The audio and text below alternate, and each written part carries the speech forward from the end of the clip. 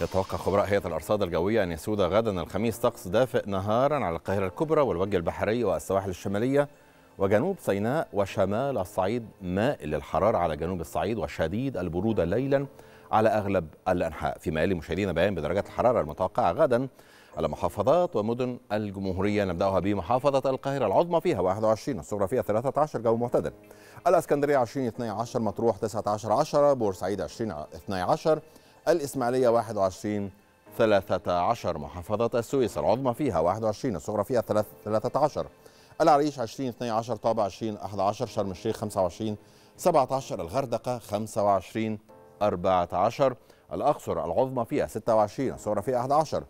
أسوان 30 14 وادي الجديد 25 8 شلاتين 26 13 حلايب 24 15 والآن نستعرض وإياكم درجات الحرارة المتوقعة غدا في عدد من العواصم والمدن العربية والعالمية نتابع